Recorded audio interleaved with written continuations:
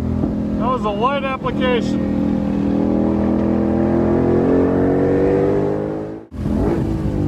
Those hawk pads are awesome.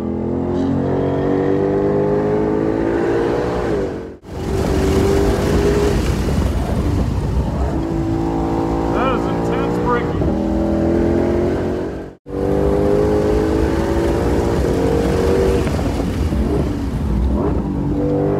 Violent braking. Fantastic. All right, so these brakes are absolutely insane. Hawk Performance, home run, walk-off homer. The Ford OEM Motorcraft brake pads are amazing for you know original off the factory floor brake pads. You can run the car hard, brakes are always there. These things just have a lot more grip, a lot more bite, a lot more uh, reel down, so you can get away with braking later.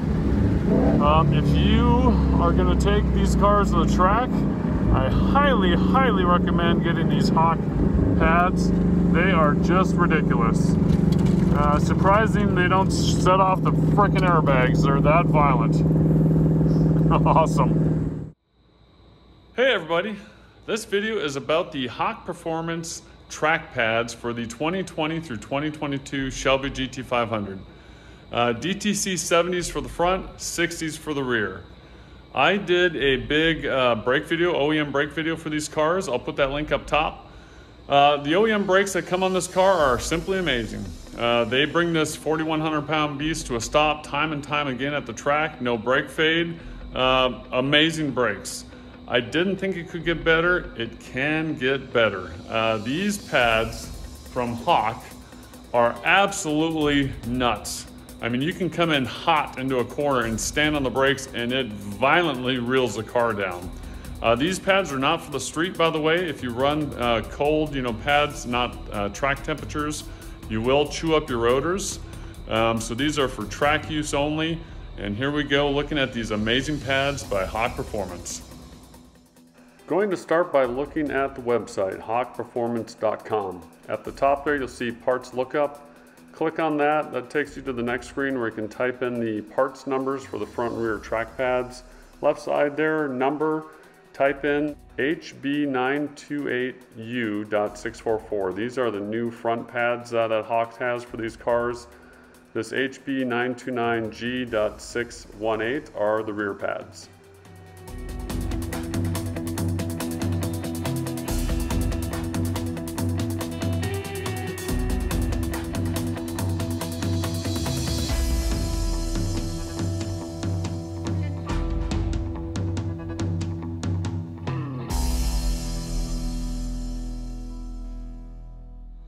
Take a look at the fronts. These are the new uh, Hawk pads. These are OEM pads. Um, I've had these on for what two track days I think it has been. Um, so they're they're still fairly new. Maybe it's just been one track day. Um, I've changed uh, pads many times. Seven seven set of front pads and seven thousand miles. Um, let's talk about uh, similarities and differences. First of all, um, they are the same exact uh, size. The OEM pads have that uh, brake wear uh, indicator, the little singer there, that, uh, that designates the outside pad. And uh, by the way, another difference is uh, the beveled edges on the OEM pads.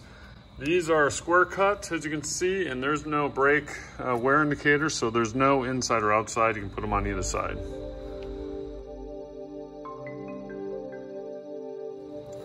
The backside of these uh, front pads do have these uh, little things that, little nubs that stick up there. Uh, right there, this one's in a little recessed uh, section there, so it actually doesn't stick up. Um, I did just check uh, fitment up on the front, and these do not interfere with the uh, front pistons. it's just outside the piston.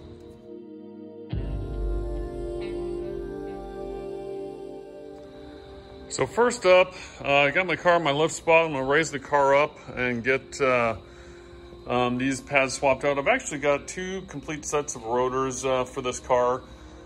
Um, these pads are not good for street use. Uh, they require to be hot. Uh, they, they run much better at uh, track temperatures.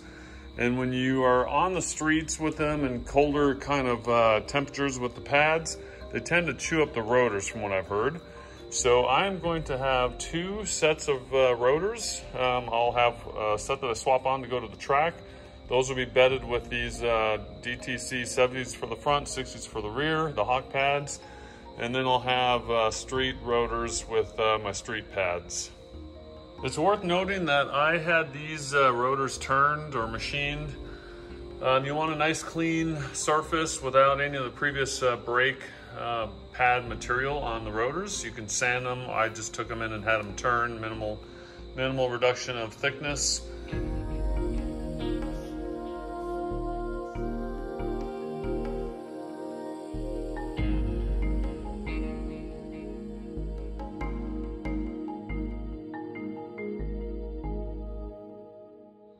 For swapping out the pads, I've got the stud kit on uh, my front uh, calipers here.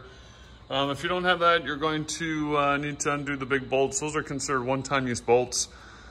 Um, up to you whether you reuse them or not. Um, by the way, I did a big, uh, everything you need to know about brakes on these cars, uh, the OEM setup.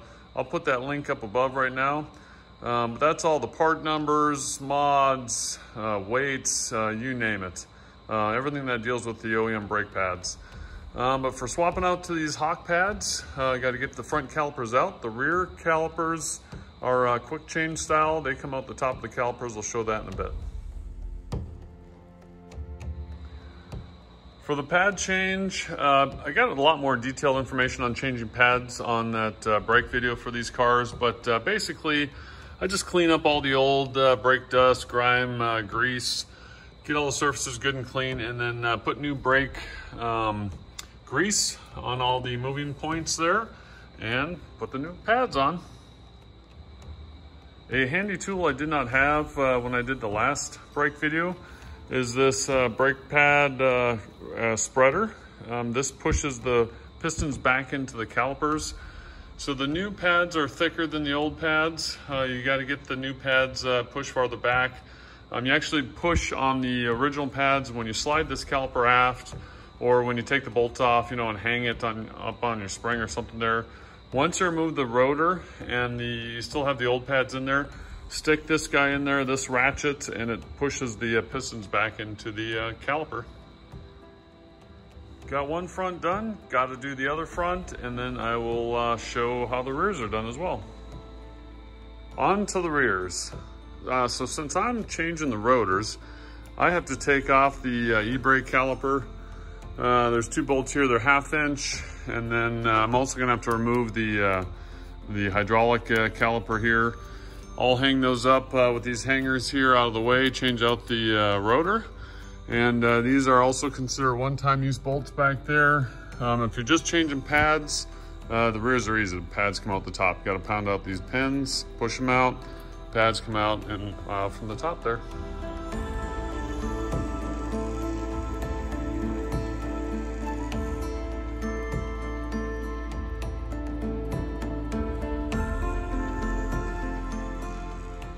Driver side rear is done.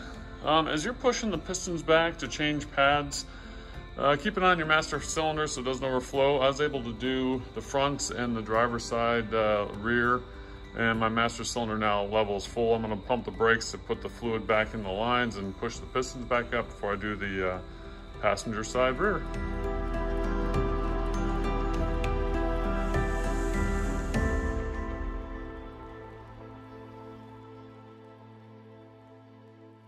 A big part of uh, getting these set up properly is the brake bedding uh, procedure, which I'll show here in just a second. But uh, the first part of this procedure is to seal off the brake ducts. I clean that, put some uh, black uh, duct tape on that, seal off the brake ducts. You want your brake uh, pads to basically get warm and then cool down. And I'll show that brake bedding procedure now.